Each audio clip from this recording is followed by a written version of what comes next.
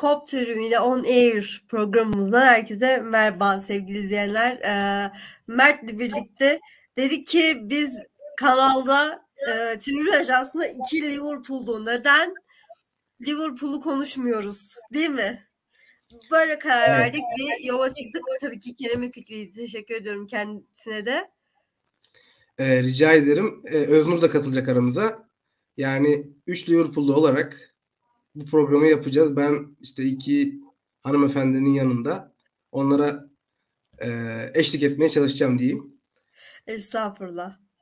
Yani hani Liverpool, yani Türkiye'de sadece Liverpool hani Premier Lig konuşulan çok fazla program var ama sadece Liverpool üzerine konuşmak, Liverpool'un gündemini böyle bir hem bir taraftar gözünden hem de yani sonuçta futbol konuşulan programlarda birden fazla takıma zaman ayırman gerektiğinde, önemli maçları konuşman gerektiğinde Hele bu sezonki Liverpool'un formsuzluğunu da göz önüne aldığımızda Liverpool geçtiğimiz senelerki kadar fazla konuşulmuyor. Hem de e, yarıştaki iddiası sürmediği için Liverpool'un gündemi de e, hem Türkiye'de konuşulan programların hem de sosyal medyanın gündemi de çok fazla olmuyor. Önceki başarılı olduğumuz senelere nazaran. E, biz bu buradaki boşluğu gördük ve kapatmaya geldik diyelim. İnşallah. Kesinlikle.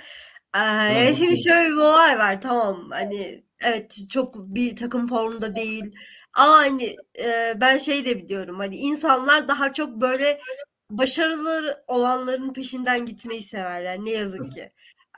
hatırlıyoruz kulübün o e, devriminden sonra kulübün o hocam sen dünyanın en iyisin dediklerinde o yüzden o noktalara ben çok takılmıyorum ama biz Liverpool'luyuz. Hani e, sevdiğimiz kulübü de evet bir programda konuşmak e, bence de güzel bir fikirdi sevgili arkadaşım. Evet ee, yani e, hani önümüzdeki haftalarda nasıl Liverpool'da olduğumuza yönelik şeyleri de konuşuruz. Onu Öznur'un olduğu zamana bırakalım. Hepimiz nasıl Kesinlikle. Liverpool'da olduk, neden bu takıma gönül verdik bahsederiz. Kesinlikle bunu konuşmamız lazım.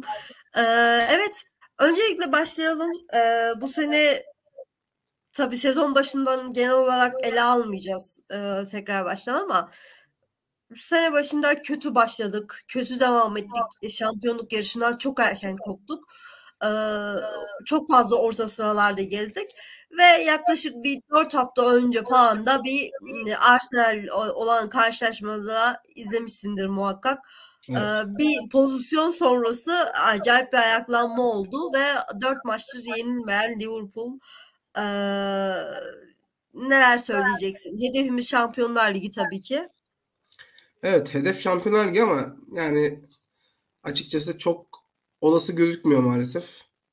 Puan farkı çok fazla. Kalmış şunun şurasında 5 hafta. Ee, rakiplerimizin çok fazla puan kaybetmesini bekleyeceğiz şu an olabil, olunabilecek en makul yer beşincilik gibi duruyor. Ee, yani Avrupa'da değişen formatla işte önceden katılmayan bir takım Şampiyonlar Ligi'ne katılmaya hak kazanan bir takım katılınca e, yani bizim Şampiyonlar Ligi'ne devam etmemizin tek şansı şöyle söyleyeyim. Bizim Şampiyonlar Ligi'ni kazanmamızdı. Maalesef orada da Real Madrid çok gönül kırıcı bir şekilde elendik. Aslında 2-0 öne geçmiştik. Her şey çok güzel gidiyordu içeride. Ve hani Liverpool kötü zamanında bile oldukça tehlikeli bir takım olduğunu bu sene United'a da gayet net gösterdi. Arsenal'a da gösterdi. Pek çok takıma gösterdi bunu. Ee, maalesef City mağlubiyeti benim ki o, o maçta da 1-0 aslında da başladık. Benim için ikinci yarının en büyük hayal kırıklıklarından biri oldu. Arsenal maçı e, ve Arsenal maçından sonra dediğin gibi bir galibiyet serisine başladık. Bu galibiyet serisinde aslında e, takımda değişen bir şeyler olduğunu e, görüyoruz. İstersen o değişen şeyleri birazcık sen de bahset. Çünkü sen benden çok evet. daha e, geçtiğimiz haftalarda maçları çok daha e, yakından takip ettin. Estağfurullah. Ee, yani şöyle ben bu arada Şampiyonlar Ligi ile ilgili olan kısma katılmıyorum Kerem. Çünkü Liverpool'un daha önce yaptığı çok böyle sessiz sakin sizce gelip o dördüncü bir ele aldığını hatırlıyorum. E, United'la aramızda 9 puan var. Dördüncü sıradaki United'la. Bence neden olmasın? Yani neden olmasın? Hani United'ın şöyle bir olayı var. Hani e, lig sonunu çok da getiremeyen bir kulüp haline geldi. O winnerlık üzerinden gitti. İşte bizdeki fark da bu winnerlığı üzerimize aldık. Hani sezon ne kadar kötü giderse gitsin sezon sonunda bir şekilde farkı ortaya koyup o farkı kapatmayı bence iyi biliyoruz diye. Ben düşünüyorum yanlış mı düşünüyorum bilmiyorum. Ee, ekleyeceklerim varsa. Ya şöyle e, şimdi United'ın 5 maçın 3'ünde mağlup olmasını bekliyoruz. Bu oldukça zor. Hani takılsa bile berabere kalsa 3 e, üç maç daha takılması gerekiyor. O yüzden oldukça zor. Hani ikili aslında Premier Lig'de ikili avarajı bakılmıyor. Normal avarajı bakılıyor. Normal avarajda üstünüz. İkili avarajda zaten 7-0'lık maç e, zaten üstünüz.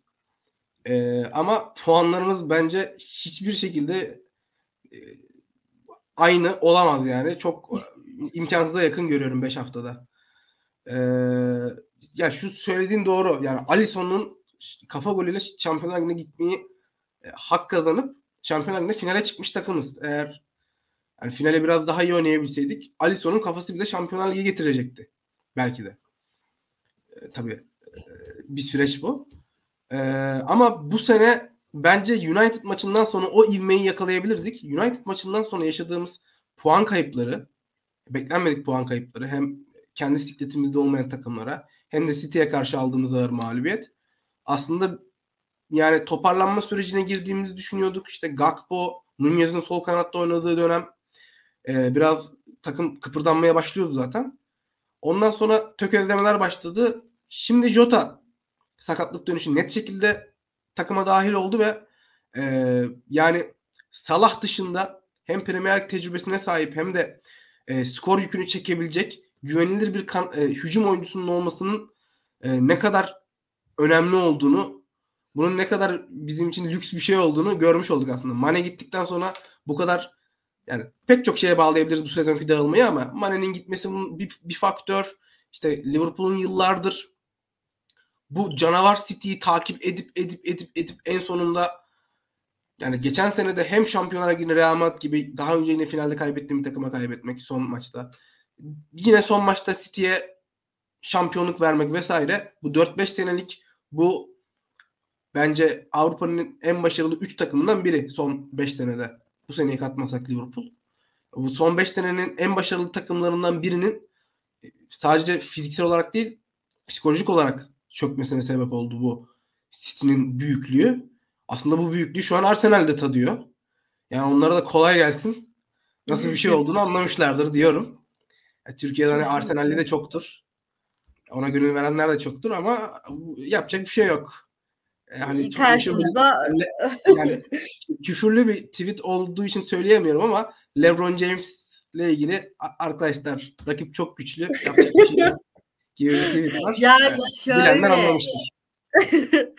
ya kesinlikle katılıyorum hani karşımızda bir bölüm sonu canavarlarıyla mücadele ediyorsun Maalesef. diye. Ee, yani... Hem Şampiyonlar Ligi'nde hem yani bu seneki form düşürdüğünün sebebi de zaten yüzde yüz bu Kerem hani e, dediğin gibi Şampiyonlar Ligi finalini, finalde iki tane büyük kupu bırakıyorsun.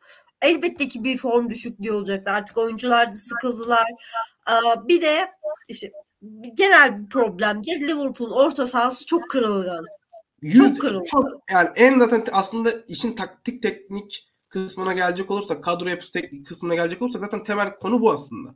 Yani o dediğin gibi e, o bir şeydi yani Liverpool'un o dördüncü son, dak- son anlarda dördüncü olduğu senede de Liverpool'u kıran şey Van Dijk'ın sakatlığı. Sonrasında evet. diğer stoperlerin sakatlığı. E, mecburen orta sahaların stopere geçmesi. Bu sefer orta sahanın hani aslında Henderson'da Fabinho'da çok kötü stoper performansları sergilemediler. Ama onları orta sahadan çekince Liverpool orta sahası bomboş kaldı. Ve aslında Liverpool'un işte o ikinci bölgedeki presleri işte e, orta, orta sahayı tutması o orta sahanın zaten hani Fabinho çok formdaydı o zaman. Dünyanın en iyi defans orta sahalarından biriydi. Ee, keza e, Henderson da öyle performans veriyordu. Yani tabii Wijnaldum'la yollar ayırdık sonrasında. Wijnaldum da yani bun, bunlar çok fizik gücü yüksek ve kulübün oyununa karşılık veren e, istediklerini yapan bir oyun sergiliyorlardı. E, bu eksik kalınca esasında e, orta sahaların da oyun yani bu sezon performans düşüklükleri yaşayınca pek çok takım aslında e, benzer bir sorun yaşayabilir. Yani bizim düşüşümüz ya düşüşümüzün temel sebebi aslında takımı yenileyemeyişimiz. Yani bu seviyede bir takımsan, bu seviyede para kazanıyorsan ve senin rakiplerin her sezon kadrosunu öyle veya böyle hem nitelik açısından hem nicelik açısından güçlendirmeye çalışıyorken sen ee, yani yaptığın o Alisson, Van Dijk gibi işte o Şampiyonlar Ligi finallerine sonrasında şampiyonluğa taşıyan bu iki temel hamle dışında Liverpool e, Darwin Nunez transferine kadar öyle yüksek paralar harcamadı. Ama rakipler her sene 50'leri 100'leri 2-3 transferde gösteriyorken e, ki hani bu şampiyonlukta direkt çekiştiğin rakibin de değil. Üçüncülük, dördüncülük mücadelesi veren takımlar senden çok para harcar haldeyken e, senin de oyuncuların yaşlanıyor. Hocanın talep ettiği oyun çok fiziğe dayalı bir oyun ve bu fiziğe dayalı oyun geniş kadroyla rotasyonla oynanacak bir oyun. Sen o rotasyonu aynı seviyede sağlayamıyorsun. Oyuncularını kaybediyorsun. E, rakibin en önemli oyuncularını kaybettiğinde dahi yerini öyle veya böyle doldurabilecek kalitedeyken e, sen maalesef o seviyede kalamıyorsun. E işte yani transfer gündeminde de yani önümüzdeki haftalarda birazcık daha net konuşuruz. Hani Bellingham meselesinden de Liverpool çekiliyor gibi gözüküyor. Maalesef e, şu anki Liverpool'un sahiplerinden LeBron James kusura bakmasın çok da memnun değilim. ya bundan kimse memnun değil. Aslında bir e, bütün Liverpool taraftarları koptu ürün dahil bütün kırmızılar aynı fikirde. Hepimiz seninle aynı fikirde. Ama e, buradaki asıl problem ve sahipler e, Liverpool'un sahipleri şimdi şöyle bir kafaya sahipler hani ben az parayla Moneyball felsefesidir bu. Az parayla çok fazla başarı elde edeyim. Sen bunu bir kere yaparsın. Bu bir kere denk gelir. iki kere denk gelir ama üçüncü yok. Bunun, bunun sürekliliği yoktur. Sürekli olmasını istiyorsan futboldan gelen o parayı cebine indirmek yerine ben açık, e, açık konuşum bunun bütün taraftarlar dile getiriyor. Liverpool'da açık açık sahipler o e, futbolcuların o emekleriyle kazanılan parayı futbola harcamak yerine bildiğim baya baya cebe indiriyorlar. Ben artık buna kanaat getiriyorum. Sen benim param yok diyorsan, borcum var diyorsan başka bir e, mantık açıklama bulamıyorum ben. Şöyle yüzde yüz katılıyorum sana. Ee, Liverpool geçtiğimiz sene en çok gelir elde eden ilk üç takımdan biri. Evet. Liverpool e, işte bu Avrupa Süper Ligi falan da konuşuldu ya. E, yani kendi stikletindeki o büyük rakipler Şampiyonlar Ligi'nde işte o Avrupa Süper Ligi'nde olması beklenen rakipler arasında en az maaş veren takımlardan biri. Ki yani Sadio Mane yıllarca öyle komik bir paraya oynadı ki. Evet. Yani Bayern Münih'e gitmesine sev, sevindim yani. Ya şu adam da biraz para kazansın dedim hak ettiği parayı alamadı. Salah'la zaten yaşadığı temel sorunu. Salah'ın sözleşmesi yükseltilirken Mane'nin sözleşmesi aynı kaldı vesaire. Hani Klopp bence bu maddi politikanın e, yönetimin politikasına rağmen takımı olması gerekenden çok daha uzun süre bir arada ve ayakta tuttu. Bu Klopp'un başarısıdır. Yani e, bu seneki çöküş Klopp'un başarısızlığıdır diyemiyorum o yüzden. Ee, dediğimiz gibi kadroyu yenilememek vesaire yani rakiplerinle aynı para kazanıyorken bazılarından daha çok para kazanıyorken senin başarının yanına yaklaşamamış ligdeki sıralamasıyla Avrupa'daki e, işte geçtiği turlarla senin yanına yaklaşamamış takımlardan daha az para harcar haldeysen e, sen o seviyede işte kulübün yüzü suyu hürmetine eldeki kaliteli oyuncuların yüzü suyu hürmetine kalıyormuşsun zaten. Yani öyle olunca da maske düştü. Maske düşünce e, enkazı biraz ağır oldu. Ama Klopp yavaş yavaş e, biraz toparlamaya başlıyor açıkçası. Evet o toparlanmayı konuşalım istersen. Yani şimdi açıkçası e, ben bugün de bir yazı denk geldi. Bunu okudum ama kulübün oyuna etkisini e, şeyde fark ettim hani Arnold'u kullanma şekli değişti hocanın. Arsenal maçında gördük sen yanlış hatırlamıyorsam. Arnold e, daha orta sahaya ileri, daha ileri dönük oynuyor ve orta sahaya geçtiği zaman hani e, geçen sene evet bunu bütün e, futbol severler söylüyor. geçen sene işte İngiltere milli takımı Arnold'u orta sahada kullandı. Klopp Hoca dalga geçti de şöyle bir arkadaşlar Liverpool'da e, şunu da belirteyim. Klopp Hoca Arnold'u ilk kez orta sahada kullanan kişidir. İlk kez o orta sahada kullandı. Geçen sene hatırla sezon başını hatırla. Milli takımdan önce orta sahada kullandı. Arnold yine bugünkü pozisyonunda oynuyordu. Yine gidiyordu orta sahaya. Yine hücuma destek veriyordu. E, bugünkü pozisyonda benzer bir pozisyonda oynuyordu yine. E, bu yüzden o ben o şey eleştiriler kısmında hoca işte sözümüze geldin mi vesaire falan o eleştirilere hiçbir şekilde katılmıyorum. Bunun haricinde evet hoca oyununda belli bir takım değişiklikler yaptı. 3-2-2-3'e dönmüş yani döndü bu arada. Hani e, bu anlamda hocanın asıl e, oyununda önemli olan bekler birazcık hani daha çok e, işte daha çok değişkenliğe uğradı diyeyim ben hani oyununda. Evet. Farklı ee, rollerde kullanılıyorlar artık bekler. Yani farklı önceden, rollerde Yani şöyle söyleyelim. Liverpool şöyle yayılıyordu. En başarılı olduğu sezonlarda geçen sene dahil. Ee, hücum hattına, hücumdayken Liverpool iki beklerini ileri gönderiyordu. Ee, kanatlarını, forveti içeriye sokuyordu. Salah'la Mane'yi işte içeride de Firmino veya Jota o zaman kim oynuyorsa e, kanatların hücum tehdidine ortalarıyla öyle bir yerleşim sağlıyordu. Geride iki savunma, önünde üçlü orta saha hattı. E, yani iki ikili üçlü e, iki savunma, üç orta sahada bir savunma ve geçişi bu şekilde savunan bir Liverpool hani beklerinden çok geçiş savunması beklemiyordu. Özellikle e, kendisinden düşük profilli takımlara karşı hakim oyun oynadığı zaman.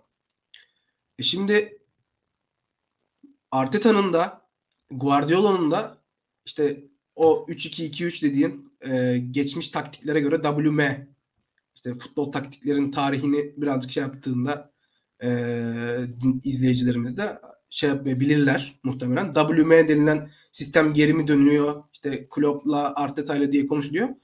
E, pardon Arteta'yla e, Guardiola'yla diye konuşuluyor. Klopp da bence buna güzel bir uyum sağladı. Yani çünkü 2-3-5 oynadığı zaman Liverpool hücumda kanat kontra savunmasında çok büyük defekler yaşıyordu. Özellikle Trent Alexander-Arnold o geri dönüşleri yapmakta zorlanıyor. Hiçbir zaman en iyi özelliğinin savunma olmadığını biliyoruz Trent. E şimdi e, Arteta sağ stoperini Ben White gibi stoper orijinli, sağ bekini stoper orijinli bir oyuncu oynatıp Zinchenko gibi orta sağ orijinli bir beki onu da Guardiola bek yapmıştı. E, sahte bek yapıp merkezdeki oyuncunun yanına getirince geride üçlü, önde ikili bir hat oluşuyor. Bu kontra savunmasında çok daha mantıklı. Ama ee, şimdi Robertson yani back karakterli bir oyun şey stoper karakterli bir bek değil. Biraz daha stoper karakterli e, bekler tercih ediliyor orada. Konate de çok böyle bek oynayabilecek kadar iyi bir şey değil yani bize çok uyumlu değil aslında ama dönüşümde fena oynamıyoruz. Trent Alexander-Arnold zaten teknik kapasitesiyle orta sahada sahte bek oynayabilecek bir oyuncu. Ee, hani bizim böyle biraz daha Konate'den ziyade biraz daha böyle aslında bu oyuna yatkın oyuncu bence ee, neydi bizim stoperimizin adı unuttum. Joel Matip. Matip değil. Ee, İngiliz olan. Gomez. Evet Joe Gomez. Joe Gomez birazcık daha back de oynama geçmiş olduğu için aslında bu oyuna daha uygun bir oyuncu ama Gomez formda değil maalesef. Ee, evet. Konate bugün aslında geçiş savunmalarında e, Tottenham maçına geçtiğimizde de görüyoruz. Biraz ağır kalıyor. Ama bu sistem e, az önce söylediğim gibi Guardiola ve Arteta'nın yaptığı sisteme Klopp da bir uyum sağladı. Ve bu uyumu sağladığından beri Liverpool geçiş savunmasını daha iyi yapıyor. Bu sezon zaten Liverpool'un en büyük başarısızlığının temelinde yatan şey orta sahadan bahsediyoruz. Orta sahanın savunmadaki eksikliklerinden bahsediyoruz. Ama Liverpool şampiyonluklara giderken, Şampiyonlar Ligi'nde başarılara giderken her zaman çok zor gol yiyen bir takımdı. Bunu da Van Dijk'ın, Alisson'un üstün e, performansıyla, orta sahanın üstün performansıyla yapıyordu. Bu sezon bunlar olmayınca Liverpool işte 4 atıp 3 yiyen bir takıma dönüştü maalesef. Ee, yani bunun da personelle transferle toparlanması gerektiğini düşünüyorum ben. Ee, evet şey dediğin gibi hani Gomez'e çok fazla eleştiriliyor bu sezon. Ee, evet. Matip de fazla eleştiriliyor. Hatta Matip yeri geliyor şey bile Van Dijk eleştirildi. Tabii Van Dijk bugün beli kırıldı Van Dijk'ın. Hiç sorma ya. O pozisyon gözümün önüne geldi şu an. Ee, yani bayağı bir zor aslında ama e, Van Dijk bir sakatlıktan sonra hani tamam geçen sene inanılmazdı ama ya bir yorgunluk falan çöküyor hani ben futbolcunun üzerine. Ben onu düşünüyorum.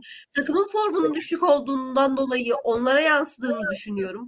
Ee, ben Van Dijk'tan umudumu hiçbir zaman kesmeyenlerdenim bu arada. Tabii. Van Dijk gözümüzün çiçeği. Yani o kadar para basmışsın bir stoper. Yani e, birazdan kıymet Hala dünyanın en iyi stoperlerinden biri. Kesinlikle.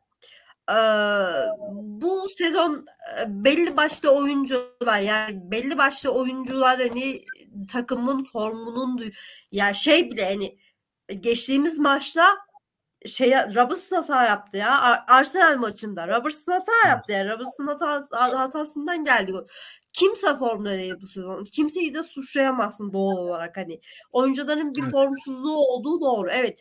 E, Klopp bir hamleyle senin dediğin gibi hani bir takımı ayağa kaldırmaya çalışıyor. Hani takımın önünde bir hedef konmuş gibi. Şampiyonlar Ligi. Hedefle oynayan takım her zaman e, daha doğru dürüst oynamaya çalışır. Ben sana Nunez'i soracağım. Şimdi e, hoca bu yeni sisteme geçtiğinden beri Gakpo'yu tercih ediyor. Evet. E, Jota'yı tercih ediyor. Luis Diaz'ı tercih ediyor. Yani Luis Diaz sakatlıktan döndüğünden beri yani bir iki maçtır o da e, Nunez'in önünde forma buluyor.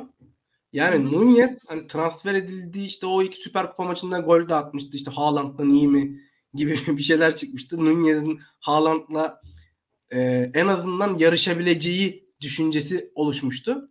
Ama sonra hani Nunez'in büyük takım seviyesinde bir oyuna adapte olabilmesi, oyun görüşünü geliştirmesi, Liverpool'un takım oyununa uyum sağlayabilmesi için en azından iki sene var gibi gözüktü sezon başında. Ee, Nunez zaten bir dil bariyeri vardı. Dil konusunda son zaman hani kendini illaki geliştirdi. E, takımla iletişimi daha iyi. E, Klopp gibi bir hoca ile çalıştığı için Klopp hücum oyuncularına iyi dokunuşlar yapar. E, onun ben bu işte sezon başındaki büyük afallamadan sonra aslında sezonun ikinci yarısında Dünya Kupası arasından sonra biraz daha bir yükselişte olduğunu düşünüyorum esasında. O işte Jota'nın da Diaz'ın da olmadığı sürede Gakpo'nun merkezde Nunez'in solda oynadığı düzen e, tehlikeli bir düzendi ve hani hem o fizikte, güçte, boyda, tempoda bir oyuncunun kanattan bekleri tehdit eder hali çok tehlikeliydi. Çok şanssızlıklar da yaşadı Nunez tüm sezon boyunca. Ee, ama ne olursa olsun Jota'da, Luis Diaz'da mevcut halleriyle hem Liverpool'un oyununa hem Premier Lig'e çok daha uygun oyuncular. Klopp da bunun farkında ama ben Nunez'den ne ümidimi kesmiş durumdayım. Ne de işte öyle çok büyük bir e, transfer kazığı yediğimizi düşünüyorum. Tabii ki başarılı bir transfer değil şu an. Ama e, yani insanların olduğu gibi futbolcuların gelişimleri de doğrusal, lineer değil. Böyle çok iniş çıkışlar gösterir. E, kimin ne zaman tam olarak hazır halde olacağını bilemezsin. İşte mesela en basit örnekleri Kevin De Bruyne ve Muhammed Salah. Son 3-4 senenin Premier Lig e, MVP'leri bunlar en değerli oyuncuları. İkisi de zamanında Chelsea'ye alındı ve Chelsea'den gönderildi. O zaman hazır değillerdi. O seviyede değillerdi. Daha fazla pişmeleri gerekti. Biri İtalya Ligi'ne gitti. Biri Almanya Ligi'ne gitti. Muazzam performanslar sergileyerek Premier Lig'e döndüler ve ikisi de yani son 5-6 sezonun en iyi iki oyuncusu desek bu iki oyuncuyu yatarız. O yüzden hani hiçbir oyuncu için öyle o büyük transfer başarısı asla olmaz şöyle böyle demeyeceğim. Ama Nunez'in kat etmesi gereken yol biraz uzun.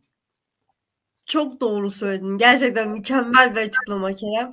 Ee, ben şunu eklemek istiyorum Nunez'le ilgili. Ya Nunez bu çöp dedikleri sezonda hani çöp transfer transfer kızı dedikleri sezonda ee, ya 15 gol kaydetti ya. Hani Yani bu haldeyken 15 gol kaydeden bir oyuncunun sakın o çok iyi halinde neler yapabileceğini ben hayal bile edemiyorum ya. Bir de işin evet. bu boyutu var. Ya ben de öyle düşünüyorum. Şimdi Liverpool yani hücum hattını bayağı yeniledi. Yani Salah dışındaki tüm oyuncular Firmino'nun da ayrılacağını biliyoruz artık. Salah dışındaki evet. tüm oyuncular 25 yaş altı. Ve hepsi fiziksel olarak güçlü kuvvetli oyuncular. E, Jota yavaştan hücumun bir diğer lideri olma e, aşamasını atıp işte bak ben Mane'nin yerini doldurabilirim aslında hani o güveni biraz da Jota geçen sezonun ikinci yarısındaki harika performansıyla vermişti kulübe muhtemelen. Kulübe, kulüba. Ama e, Jota'nın sakatlığı da bu konuda biraz etkili oldu bizim başarısızlığımızda. Jota tekrar o zamanki haline dönmüş gibi gözüküyor. Çok fazla gol asist üretiyor. Çok güvenilir bir oyuncu haline geldi. Ee, yani ben önümüzdeki sezonlar için orta sahayı da böyle yani yavaştan savunma hattında işte Konate'yi aldık bir. Van Dijk yaşlanıyor. Stopere de bir hamle haberleri çıkıyor. Orta saha ile ilgili pek çok hani 2-3 tane hatta 5-6 tane oyuncu konuşuluyor da belki 2 tane belki 3 tane transferin yapılabileceği konuşuluyor. Takımın nüvesinin yaş, yaş ortalamasının aşağıya çekilip dinamizminin artmasıyla birlikte e, hani belki önümüzdeki sezon direkt olmaz ama sonraki sezonları kısa vadede değil ama orta vadede Liverpool'un tekrardan aynı seviyelerde en üst seviyede geri dönüş yapmasını bekliyorum ben. Tabii e, yani neyin nasıl olacağını bilemiyoruz. Yapılacak transferler, yönetimin değişikliği, belki hocanın değişikliği. Yani önümüzdeki şeyleri böyle kesin gözüyle bakamıyoruz. Şu an Klopp bile kendini çok güvende hissetmiyordur bence şu anki yönetimde. Yok ben e, hocanın yaptığı açıklamalara bakarsak hani çok öyle düşünmüyorum. Hani hoca şey diyor. Ben kovulacağımı düşünmüyorum diyor. Hani kendimi ya, çok öyle ya hoca hoca hoca öyle konuşur ya. Hoca şey demez yani. Hoca hep böyle hani mavi boncuk dağıtır. Hoca hep olumlu konuşur. Pozitif basar camiaya, taraftara, yönetime. Ha, sızlanır, söylenir. İşte biz City kadar para harcayamıyoruz der. Şöyle der, böyle der. Hani bu kimi zaman serzeniştir, yönetimedir, kimi zaman evet. bahanedir. Ama hoca böyle konuşur yani. Hoca hiçbir zaman öyle işte ikili ilişkilerini öyle yürütmez. Tam bir ikili ilişki canavarıdır Klopp. yani onu bu kadar sempatik yapan şeylerden biri de bu. Evet çok doğru söylüyorsun ki Tottenham maçına geçelim bugün. E, Tottenham Orada galibiyeti... artık ben çok konuştum. Maçı sen izledin sana bırakayım or- orasını. Estağfurullah. Yani şimdi Tottenham maçı aslında e, maçın ikinci yarısına yetişebildim bu arada. İşten çıktım tam yoldayım falan böyle. Bir yol 45 dakika falan sürdü. İkinci yarısına kendimi attım. Şöyle ilk yarısından pozisyonlarda e, bir şey hani gol sesi geliyor telefondan bu arada. İlk 15 dakikada hani 3-0 öne geçti Liverpool ama senin dediğin problemler göz önüne çıkıyor bu kez de. 3 e, gol yani 3-0'dan gelip 3'e getirdi Tottenham durumu. Ya burada asıl soru işareti bu. Yani takımda her ne kadar olumlu gelişmeler de olsa bir yandan da olumsuz gelişmeler de var. Hücum hattı yavaş yavaş oturuyor. Senin dediğin gibi hücum hattında her şey on numara hale çevriliyor ama bir yandan da e, savunma hattındaki o ciddi problemler ortaya çıkıyor bence. Ben böyle düşünüyorum. Özellikle bu e, Tottenham karşısında da kendisini gösterdi. E, bir yerde insan hani ben üçlü gelince durum dedim eyvah yani e, hani hep bunu mu yaşayacağız? Hani dört adet evet. üç yemek. Korkuttu e, ya korkuttu. Beni bir korkuttu ama e, bir fırsat buldu Jota. Yine Lucas Moura'nın da hatasını fırsatı çevirip golü çevirdi. Dördüncü golü böyleydi. Ben maç hakemine de e, bir gireceğim. Yani böyle hem Tottenham'a kıydı hem Liverpool'a kıydı. Yani e, iki tarafa da ortak bir şekilde kıydı. Ee, iki pozisyon var Liverpool'a penaltı vermedi. Benim gördüğüm en azından. Ee, bir de ilk yarıda gerçekleşmiş pozisyonu arkadaşlar atıyorlar. Ee, videoda izlediğim kadarıyla e, Tottenham'lı bir oyuncu baya baya e, şeyi biçmiş yani bizim e, Luis Diaz'ın ayağını e, basmış ayağına. E, pozisyon evet. net bir şekilde. Hani bir de Jota'nın 2000 yüzüne attığı tekme var. evet, evet. Şöyle bir ayakla tokat atmış diyeyim ben ona. evet yani bunlar kartlı pozisyonlarda ve herhangi bir kart e, çıkmadı bu pozisyonlarda. Yanlış hatırlamıyorsam yani. E, kırmızı kartlık pozisyonlarda ilginç bir şey ikinci yarının sonlarına doğru kulübün de yerlere yattığı sinirden böyle bir kendini yere attığı bir pozisyon vardı. Salah gole gidiyor. Ya Tottenham'lı bir futbolcu formasından çekti Salah'ı yere düşürdü vesaire falan. Hani bu baya baya penaltıydı ve verilmedi. Yani hakem de e, sorumluydu bu karşılaşmada. Ben Premier Lig'e hani bu tarz e, şeyleri yakıştıramıyorum. Yani sen Premier Lig standartları hani dünyanın en iyi ligisin. Yani dünyanın en çok izlenen ligi. Bu okey. Bunda iyiyiz. Ama e, bu kadar bariz hatalar bence Premier Lig'de olmamalı diye düşünüyorum. Yani hakemdir, hata yapar vesaire falan. E, ama şey kısmı yanlış. Yani e, bu kadar fazla hata yapılmasını ben hiçbir şekilde doğru bulmuyorum.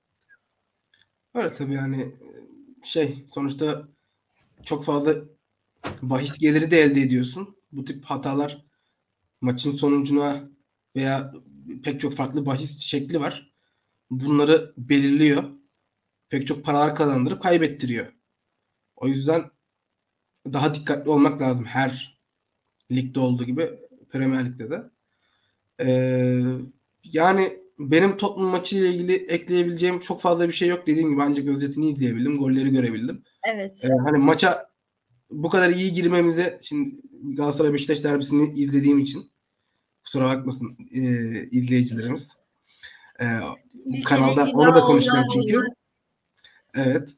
E, yani ilk ama 3-0 olduğunu görünce maçın dedim hani güzel iyi gidiyoruz.